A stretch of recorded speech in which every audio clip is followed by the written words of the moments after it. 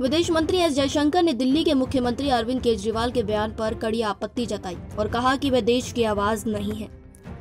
विदेश मंत्री ने कोविड 19 में सिंगापुर की ओर से भारत को दिए गए सहयोग और दोनों देशों के बीच द्विपक्षीय संबंधों की सराहना की है। आपको बता दें कि केजरीवाल के ट्वीट पर सिंगापुर सरकार ने इसको लेकर कड़ी आपत्ति दर्ज कराई है।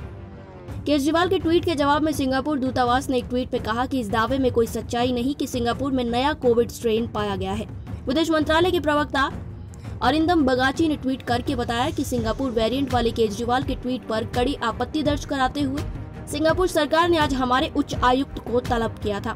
इसी के साथ उच्च आयुक्त ने यह स्पष्ट किया कि दिल्ली के सीएम के पास कोरोना मामले या सिविल एविएशन पॉलिसी पर कुछ भी बोलने का अधिकार नहीं है।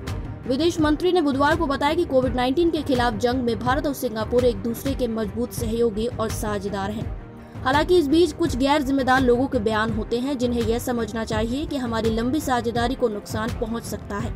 इसलिए स्पष्ट कर दूँ कि दिल्ली के मुख्यमंत्री भारत की आवाज़ नहीं है। आपको बता दें कि दिल्ली के मुख्यमंत्री अरविंद केजरीवाल ने केंद्र सरकार से कहा था कि सिंगापुर के साथ हवाई सेवाएँ तत्काल प्रभाव से रद्द की जानी चाहिए, क्योंकि सिंगापुर में आया घातक कोरोना वायरस का नया रूप बच्चों के लिए बेहद खतरनाक है, जो भारत में महामारी की तीसरी लहर के रूप में आ सकता है। हमारी आज की इस रिपोर्ट में बस इतना ही। मैं श्वेता चौहान, पंजाब केसरी, दिल्ली।